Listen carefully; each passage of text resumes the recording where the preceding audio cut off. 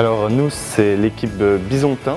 Nous sommes quatre étudiants de Master Infocom et un étudiant en informatique. Alors notre projet s'appelle Trouver vos bancs, jeu de piste pour les visiteurs de la citadelle qui vont se balader au cours de la visite et euh, essayer de retrouver dans quelle euh, cité de Vauban où est-ce qu'ils se trouvent.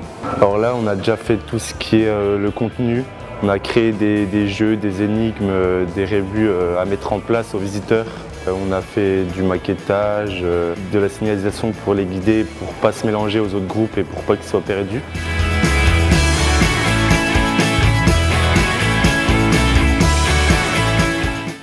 On est vraiment rentré dans le concret. On a commencé à imprimer toute la signalétique, des affiches qu'on a plastifiées et on a collé dans toute la citadelle qui indique toutes les consignes pour les visiteurs. Et on s'est concentré aussi sur une appli qu'on a développée, une application mobile, pour que les visiteurs aient accès à un plan euh, du déroulé du jeu euh, au cours de leur visite.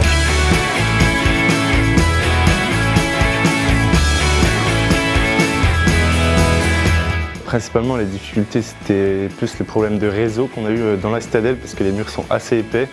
La 4G a des difficultés à passer, du coup on a trouvé des solutions à ce problème, euh, notamment en préchargeant les pages sur notre euh, application. Mais sinon, globalement, on était dans les temps, on n'a pas eu plus de difficultés que ça. On a eu pas mal de retours pour l'instant et c'était plutôt positif. Les gens étaient intrigués par notre projet et ils nous ont posé plusieurs questions. Ils avaient un peu de mal à trouver, euh, à réaliser les énigmes. Du coup, c'est un peu ce qu'on cherchait à leur communiquer, c'est un peu euh, la difficulté. Alors notre projet, il est vraiment dynamique et immersif. Et il se focalise vraiment euh, dans un aspect ludique et, éducatif qui vise notre cœur de cible, donc les familles, les enfants. Et tout ça dans un apport de connaissances historiques et techniques sur les sites de la citadelle.